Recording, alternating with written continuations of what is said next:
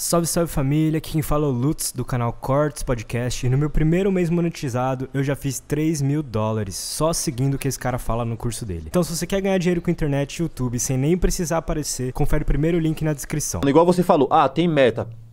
Da Cunha, você tem que fazer 200 prisão em dois meses. Pra onde o da Cunha vai? Vai pra quebrada, que é mais fácil. Da Cunha, pode ficar três meses para pegar um, um cara foda. Aí você poderia ir pra Zona Sul. Eles falam, quero 200 prisão em dois meses. Você sabe que você não vai conseguir lá, essas 200. Na uhum. Zona Sul, pegar os caras ricos. Ou seja, na quebrada é mais fácil você prender. Ou não? Sim! Teve uma. É que, me contaram... Então ele já manipula assim, tá é, através é, disso. É, é, é que, na, na, verdade, você vai ter uma molecada ali praticando um, um crime de tráfico. Mas assim, sabe o que eu queria que já que você quer entrar, vamos entrar. Então vamos Mas eu não, tô, eu não tô defendendo não, quem tá não, tá na quebrada ou quem tá tra... Não, tô é contigo, relaxa. O que eu bato é o seguinte. E eu não tô ó. contra você, tô falando porque os caras coloca isso. Até porque você tem que seguir lá as metas, etc. Não, a gente. Cara, você tem que. Eu, te, eu, sou, eu sou um funcionário. Eu, é isso eu que tenho eu que falando. seguir tudo direitinho, eu tenho meta. Então... Eu tenho. Eu, eu, alguns podcasts que eu fui, eu tô até respondendo processos administrativos por coisas que eu falei, que estão vendo, analisando se eu falei certo ou errado. Então, assim, a instituição é séria, a instituição ela é bruta, ela é pesada e ela tem uma, uma linha, né? E a gente tem que seguir, exatamente isso. A gente segue as determinações dos nossos superiores. É isso que eu tô, que eu tô você tá certíssimo. Aqui, que eu quero saber. Tu não acha não, você que... tá certo. E assim, mas é o que eu te falei.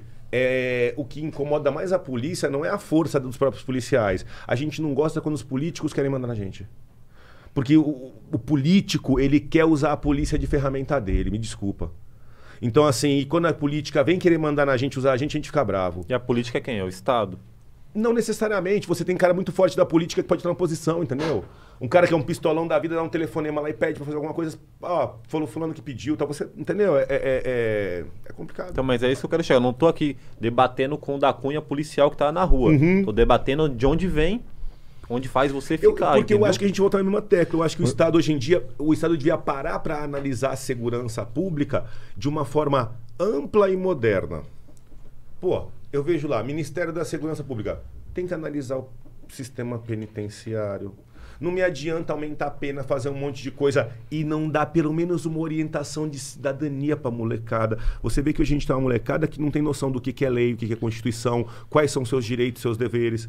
Então, é, mas eu também não acredito assim, olha, quando a gente reformar a educação, a gente vai fazer segurança pública. Igualzinho a gente falou do traficante, acho que tem que vir junto. Eu tenho que vir batendo forte em quem está praticando crime pesado e reformando a molecada.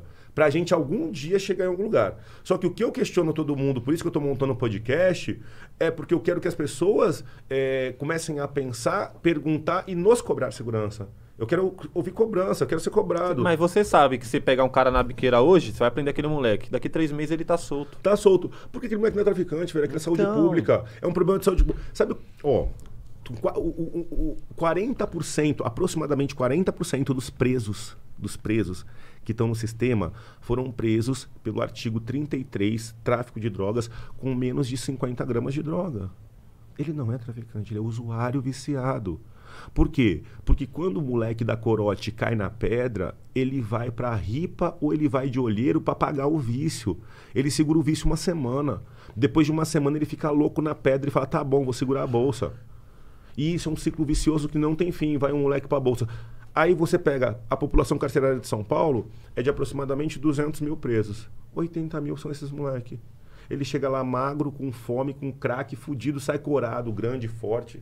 Tem uns que na hora de sair falam, ô senhor, como é que faz para ficar? Porque aqui eu tenho um amigo, tenho onde dormir e tal. Os caras falam, ah, faz uma falta, briga com alguém. Os caras vai brigar, sai na porrada, mentindo, para tomar uma falta e não ir embora da cadeia.